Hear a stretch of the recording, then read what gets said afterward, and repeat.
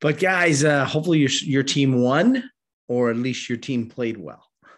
It was a good game. Obviously, um, there was a lot of uh, uh, great stories, which I always love about Super Bowl. I love the stories about the players, about the teams, about um, the communities that they come from, things like that. So, very very fun to uh, to be a uh, to watch that.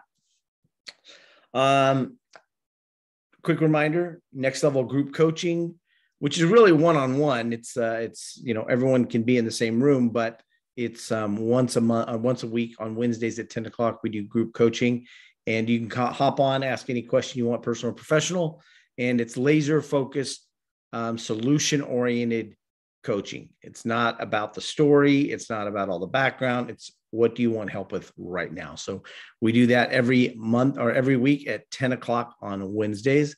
And um, I don't know, we've done that for maybe 10 years now. And then this Thursday is Next Level by Association, which is a, a privately hosted event.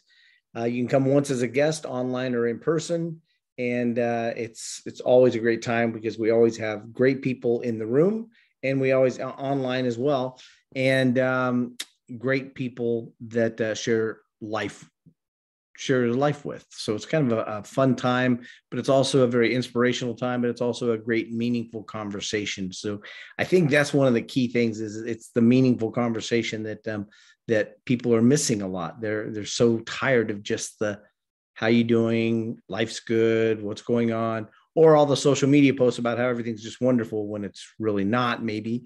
Um, but uh, they're just playing their best uh, their best life in front of you, and then they're playing their struggles behind. So um, it's kind of one of those things. It's a great, great opportunity. Hopefully, you guys can participate in that. If you want more information on that, just shoot us a message, private message me, or send a message to Haley at everythingnextlevel.com, and we'll get you um, we'll get you the information on how to attend either virtually or in person. Um, but that being said, let me uh, let me share something that I think is really um, I think it's really important because there's a lot of people that are struggling with whatever, struggling with mental illness, struggling with um, thoughts of depression, struggling with addiction, um, ideologies, uh, all those kind of things. And I truly believe that um, there's there's something at the root of the addiction, part for sure. And uh, you know, we know that because we've seen it and it's being reported about it and everything else. But let me let me just um, share a story with you. Several years ago, I was at a, Starbucks, and I was um, actually it was a coffee bean, and I was I was talking to somebody. Somebody had called in, and I was trying to help them through a situation they were having. And I walked outside, and I noticed a young woman follow me. She's probably in her 30s and she said um, when I got off the phone, she says, "Excuse me, but I." Are you a coach? Are you a life coach, a business coach? What are you? And I said, Well, what, is it that you're looking for? And she said, Well, I'm struggling because um, I wish I could get rid of this nasty habit of cigarettes, smoking cigarettes. She goes, um, I just, I just can't do it. So I'm, I heard you coaching, and I thought maybe you could help me with that. And I said, well, let me, let me ask a couple of questions. She says, what's that? I said, um, have you ever stopped smoking before? She goes, Yes. I said, For how long? She was about three years. I said, So you stopped before for three years. Why do you find it so hard now, you think? She goes, I don't know. I said, Well, when you were able to stop, why did you start back?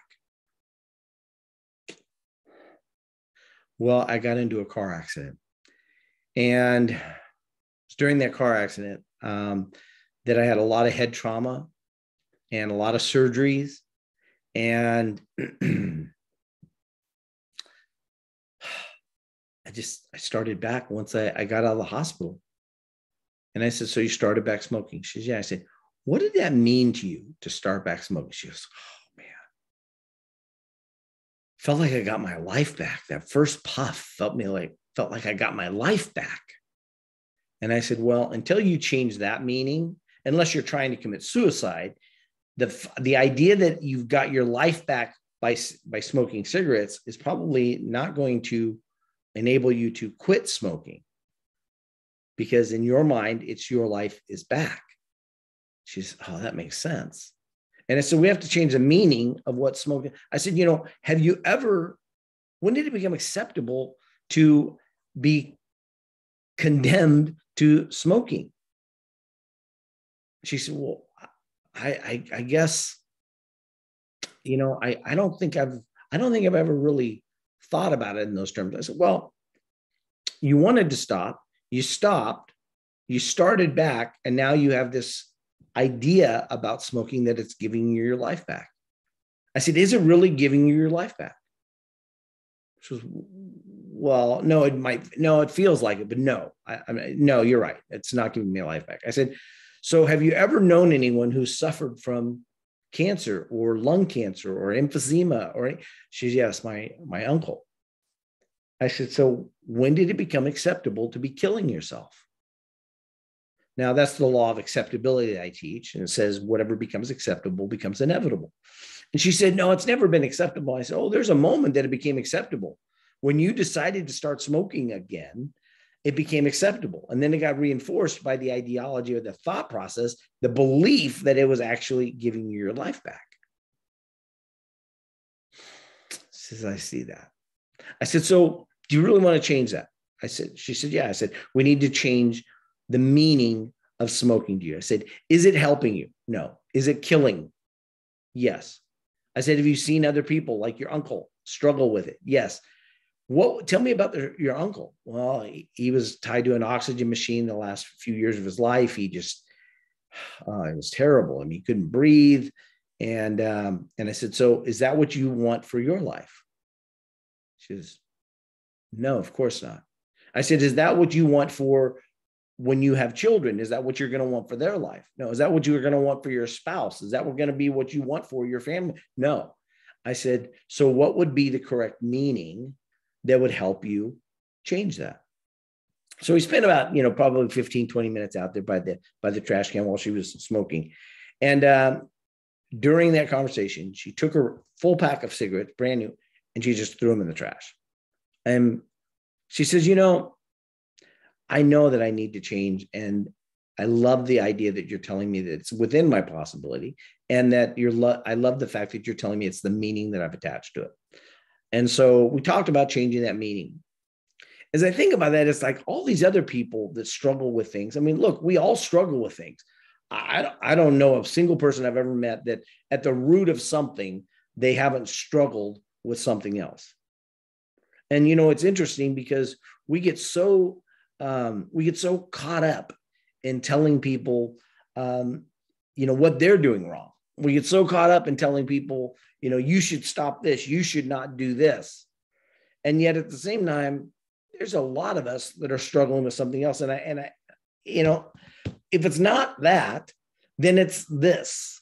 It might be um, a, an addiction to shopping. I mean, it might be an addiction to being lazy. It might be an addiction to playing golf all the time or whatever it is.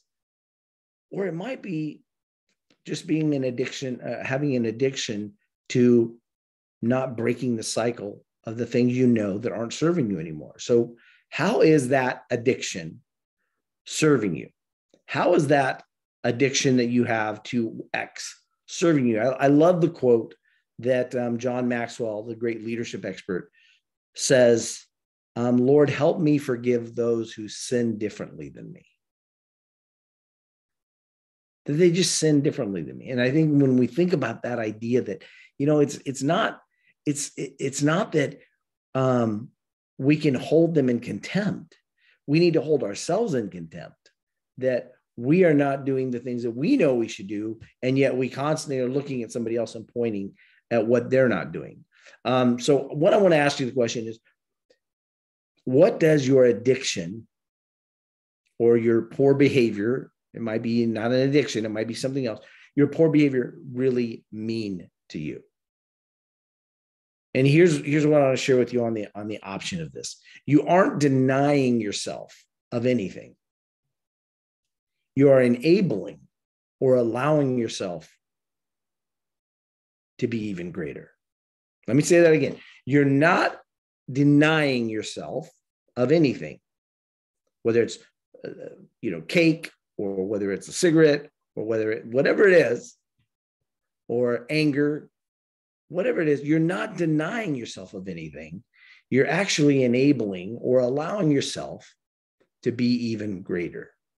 That meaning allows us to change. The other meaning that it's somebody else's fault, it's because that's the way I was raised, it's because um, I've tried before and I can't beat it, whatever it is, that belief system is not going to serve you. So let me ask you the final question, and that is how is this X behavior, um, association, meaning, addiction, whatever, how has this served you in the past? and how will it serve you in the future? It might have served you by giving you an excuse. It might have served you by saying it's not my fault. It might have served you in a lot of different ways um, to gain sympathy from other people, or it may be one of those things that you can change today. Today, today might be the right day, the perfect day to change and say, how it's going to serve me now is it's not going to be my excuse any longer. It's going to be my reason. It's not going to be my excuse any longer. It's going to be my reason. So, you know, um, if you're watching this on re- replay, I'd love to just hear you chime in. What this has meant to you. Uh, maybe, maybe if you want to share something in the past that you've tried to break free of, or maybe something today that you're going to make a decision about breaking free of X. Um, I'd love to for you just to share it. Uh, it's only going to be on Facebook for uh, maybe a few hours, and then it'll go off, and it'll be just put uh, aside in our membership group. Our Facebook membership group uh, allows for people to go back and archive it, go back and have a community of people. There's over 106 people in there right now, I think 106, 107, um, that you can go back and connect. And many of those people are great guest of honors of Next Level by Association, such as Brian Smith, founder of UGG, or, um, uh, you know, Kassim Osgood, three-time Pro Bowl player, or um, Keith Keith um, Keith Ferrazzi, who wrote Never Eat Alone, Who's Got Your Back. And we've got so many great people in there. I can't go through the whole list, but I can tell you this that um, it's the, the association, it's the people that you associate with and how you associate with them. It's not just that you're standing next to them any more than a television has power by being by being left uh, in a vicinity of a plug. It has to be plugged in, but it's really by the association and how you associate with them. So I invite you to look at becoming a member of Your Next Level Now and uh, Next Level by Association. Uh, if you want the group coaching, you want to be a part of that, let me know. We'll figure out a way for you to participate in that. And um, Flo, you got any final, got any thoughts about the topic today?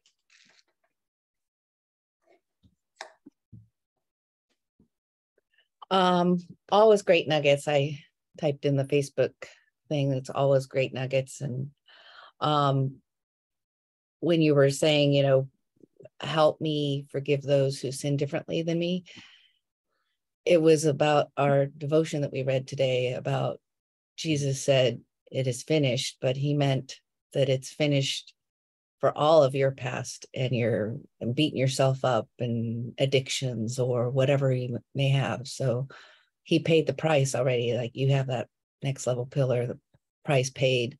Mm-hmm. Um, so that's that's what your your talk reminded me of today. Yeah. So thank you. Yeah, thank you. Now I agree. Uh, you know, uh, it's it's such a meaningful uh, that quote from John Maxwell. Man, the first time I heard it, Evan Money and I were talking. and He shared it with me, and I was just like, Ugh! just oh my gosh, um, wow, what a powerful statement. And uh, of course, I love John Maxwell, so very powerful to hear it from him. Yeah. Well, the um, this idea of though that this breaking free of this these patterns that we've created, poor thinking. Um, I remember a gentleman back in 1985 saying "stinking thinking." You know, it's that mm. stink that you have, and mm. uh, there's just so many things that uh, that this this message kind of reminds me of in my life um, things that i've continued to beat myself up for things that i've done and gone okay well that's over but was it? Was it really over? Not when I kept repeating it, not when I kept, you know, living it again and, and again. Um, and maybe you know maybe it was a traumatic experience in your life. Maybe it was a traumatic experience in your family life something. So i really appreciate that um, Flo because i think that's it's very appropriate for all of us as we watch this. Right. It's easy to beat ourselves up. Easy. It's easy to beat us and and it's easy to let ourselves off the hook too. Right right. Where we yeah, just go true. oh well that's, that's not my fault. I mean that's just the way i was raised. Right. That's my mom and dad's fault um, that's society's fault. Look what's going on in society. How do you expect me to have a healthy marriage when already 50 of them, you know, 50% are in in divorce? I mean, we allow ourselves off or we beat ourselves up. And the, the fine line is saying take accountability for what's your responsibility and then forgiving yourself, forgiving yourself and forgiving others when they offend you. So yeah, great comment. Thanks for sharing that. Yeah, thank you. Guys, get out there, make it a great week, and enjoy your next level.